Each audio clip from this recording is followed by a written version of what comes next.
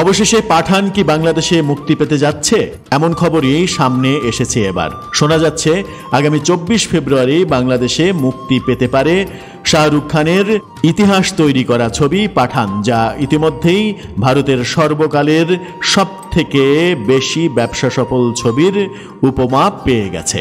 চলচ্চিত্র সংশ্লিষ্ট উনিশটি সংগঠন দেশের সিনেমা হলে হিন্দি সিনেমা মুক্তির ব্যাপারে এবারে একমত হয়েছেন বলেই জানা যাচ্ছে।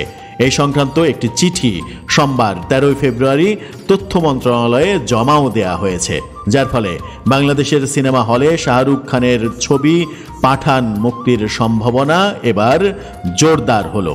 বাংলাদেশে পাঠান সিনেমার যে আমদানিকারক প্রতিষ্ঠান অ্যাকশন কার্ট এন্টারটেনমেন্ট তারা দাবি করছে চলচ্চিত্র সংগঠনগুলোর ঐক্যমতের ফলে পাঠান বাংলাদেশে মুক্তিতে আর কোনো বাধা থাকছে না। সব কিছু ঠিকঠাক থাকলে আগামী চব্বিশ ফেব্রুয়ারি তারা এই ছবিটি মুক্তি দিতে চান। তবে এই প্রসঙ্গে এখনই আনুষ্ঠানিক বক্তব্য দিতে রাজি নন তারা। যা বলেছেন সেটি অনানুষ্ঠানিক কথা। পঁচিশ জানুয়ারি বিশ্বব্যাপী মুক্তি পেয়েছে শাহরুখ খানের।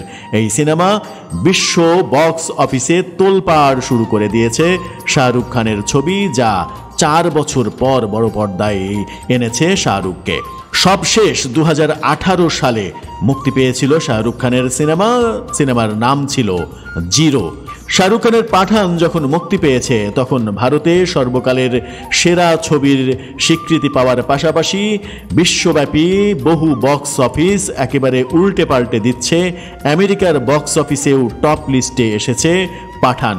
শোনা যাচ্ছে প্রথম দশ দিনে এই ছবির ইনকাম এক হাজার কোটি রুপিরও বেশি, যা ভারতের ইতিহাসে যে কোনো ছবির ব্যবসাকে দুমড়ে মুসড়ে একেবারে একাকার করে দিয়েছে।